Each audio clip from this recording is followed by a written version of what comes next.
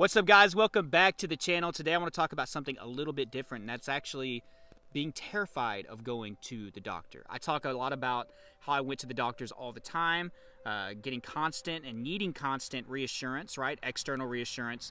But there are also a lot of times where I was completely terrified of going to the doctor. I want to cover that today uh, for those of you that are dealing with that because you are not alone. But you know what time it is? Smash the like button down below if you're ready to kick anxiety in the butt. Leave me a comment. Let me know if this is something that you deal with. You are not alone. Okay? That's what this channel is about. Remember, guys, if you haven't gotten into Elite Anxiety Bootcamp, I help with anxiety recovery. It is step by step my blueprint on how I personally overcame anxiety. I designed this course in a way that it's basically me talking to me whenever I was going through anxiety, and I had it so freaking bad. So, um, these were some of the things that I needed to hear in order to recover. So I know if I was able to do this, there are so many of you out there that can do it. So take advantage of this if you haven't. It's in the description and in the first pinned comment. So guys, being terrified of going to the doctor. Man, oh man, I don't talk about this enough on this channel. Usually you hear I couldn't stop going back for more reassurance. But something would happen whenever my symptoms would change, right? And I know a lot of you can relate with this. When your symptoms change, because they do and they will for most of you, you get nervous. You're like, well, this isn't what I was dealing with. Maybe this is something real. So then you jump on Google, which do not do. You find out that it's something horrible, right? Because you're wired to negativity. You're going to assume that the worst stuff at the top is you, right? And then you're like, oh my God, I can't believe it. I, I have heart disease or I have MS or ALS or Parkinson's or brain cancer. Oh my God, I can't, I can't do this. I can't do this. Oh my God. And there's that period of time for a lot of you where you're actually terrified to go to the doctor to hear them say those words. You have cancer, or you have heart disease, or you have MS, right? And it actually keeps a lot of you from going to the freaking doctor for a long period of time. And for me, this period of time would range from either a few weeks to a few months to a few months. I remember when I first dealt with my cardiophobia, it was probably about two to three months before I actually got an EKG. Because I couldn't bear the thought of having a heart problem at 21 years old. I think I was 20 at that time. I couldn't bear it.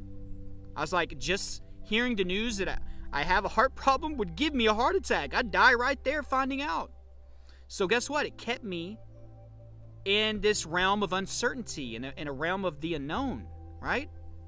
Very confusing time. It was complicated for me, but it held me back. I wasn't able to get any initial reassurance. Now, guys, I know, I tell you, we don't need to constantly get that external reassurance, whether it be testing or doctors. But in the beginning, if your symptoms change, go get told that you're fine. Over time, you'll start to pick up on this and you're like, look, it's just my subconscious changing up the message system. I still have work to do. Because once you adapt to certain symptoms and you're not fearful of them, they start to fade, right, and dissipate. But if you haven't fully transformed and your subconscious still has more plans for you in your growth process, because I believe anxiety is a sign that you need to grow, then it's going to change up the symptoms. Because your subconscious is like, well, he needs more work or she needs more work. I, I, he's not scared of the chest pain.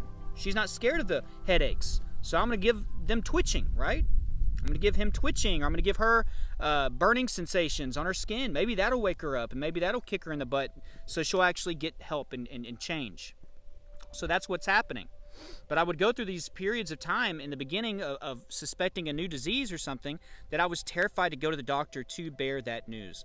Eventually, what changed me in, in recovery was like, look, look, it's a win win situation, and it is for you.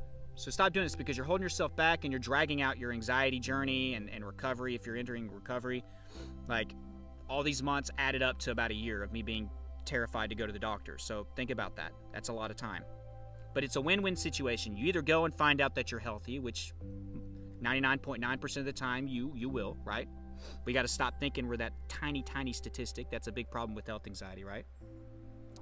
Or you do find out, and by some tiny, tiny chance, you actually have that issue, right? You have that disease. Guess what?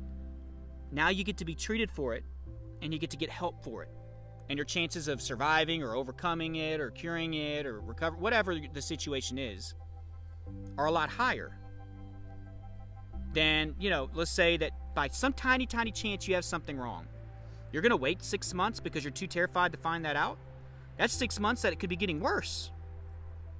So it's smart to just go ahead and get that initial reassurance and be like, okay, now it's time for me to work on acceptance and reassurance. Man, this anxiety thing's out of hand. I got to step back and I got to be more serious about this. So that was one of the things that was going through my head. I, I was just, I couldn't bear the thought of finding out that something was wrong with me. So if that's what you're dealing with, take a step back and realize it's a win-win situation if you go. Another thing, guys, was I had white coat syndrome, and I know I've talked about this a lot. You're basically scared that your vitals or numbers are going to be high. You anticipate this, and therefore they skyrocket, and then the doctors take notice, and it just it's a basically an association that develops over time. And of course, mine started with the heart rate and blood pressure, um, and every time I would get out of the car just to walk into the ER or the hospital or anything like that, I could feel my blood pressure going up and my heart rate going up because I didn't want to get bad numbers. And then, of course, they would look at the numbers and be like, Trey, do you have a blood pressure problem or a heart problem? And I'd be like, no, I have anxiety. Why? You know? So it would just, it complicated things even further. That was something that stuck with me pretty much to the very end uh, was the white coat syndrome. It was a very strong, strong association. I didn't even have to think about it. My subconscious would just take over and shoot my heart rate up and my blood pressure when they put the cuff on me or whenever they put the pulse thing on my finger. So white coat syndrome was another thing. And if that's what's holding you back, guys, just realize what's going on here. It's an association. It's not because your numbers are high like that all the time.